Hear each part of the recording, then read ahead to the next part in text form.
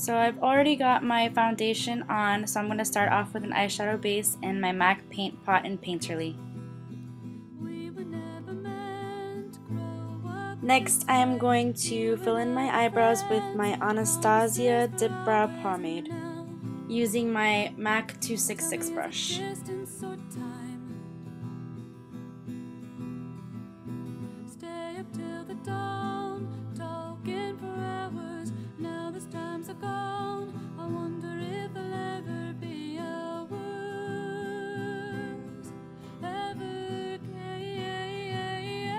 For this look, I'm going to be using my Stila in the Garden eyeshadow palette and the green St. Patrick's Day colors on bottom.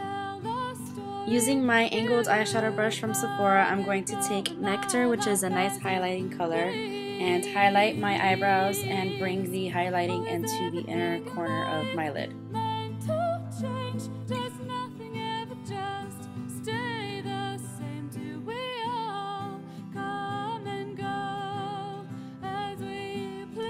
Next I'm going to take Sage, which is a shimmery light green, and blend that into the crease with my MAC 214 brush.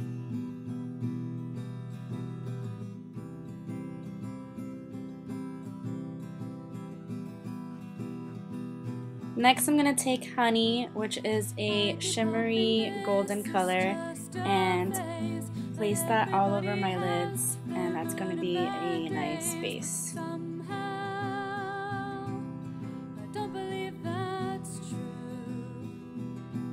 I'm going to take Moss, which is the darkest green color there is in this palette, and put a little bit in the outer corners of my lids, and that's going to give the look a very nice definition.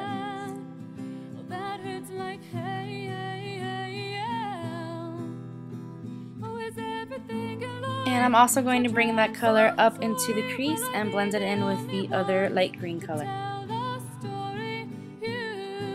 Now taking a clean blending brush, I'm going to make sure that there are no harsh lines throughout my lid and blend all the colors evenly together.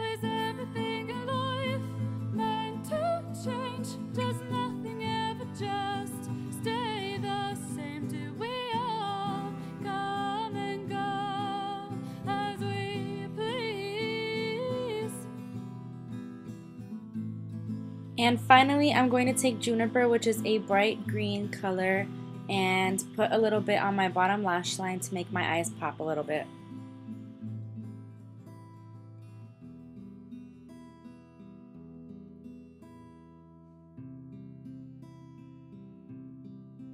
Now I feel like this look does not need any blush, so I'm only going to be using bronzer, and this is the Honey, honey Bronzer from the Body Shop, and I'm just going to contour my cheekbones and forehead for some color and definition. To have a matte finish and to blend out any harsh lines on my face, I'm going to be using my Rimmel Stay Matte Powder and Real Techniques Powder Brush to do this. This look is just full of Stila products, but my go-to eyeliner has always been the Stila Stay All Day Waterproof Eyeliner in black, and I'm going to be making a fairly thick line with a wing for this look.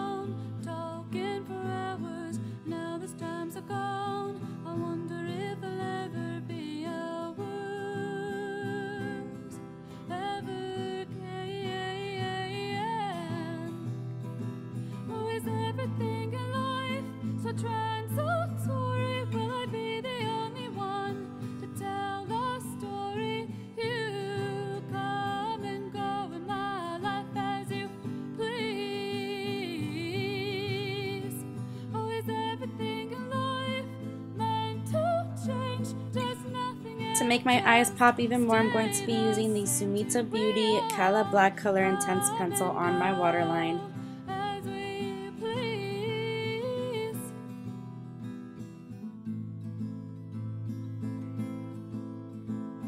For mascara, I'm going to be using Benefits They're Real.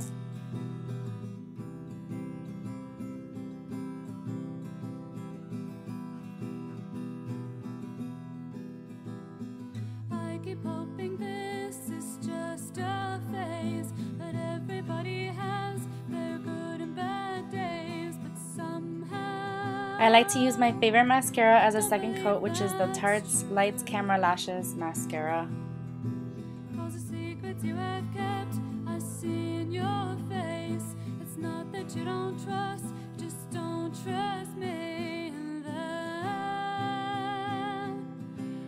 For some highlighting, I'm going to be using my MAC Mineralized Skin Finish in Soft and Gentle, I'm going to sweep this across my cheekbones and places where I would naturally have a glow.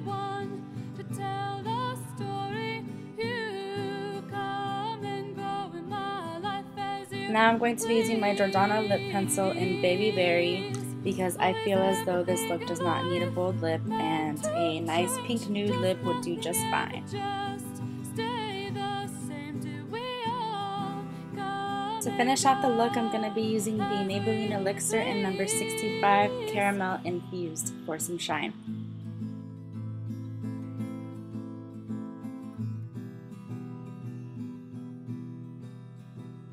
I guess I should probably inform you guys that my top lip is extremely numb from going to the dentist and getting a filling this morning, so apologies for the strange looks in my top lip.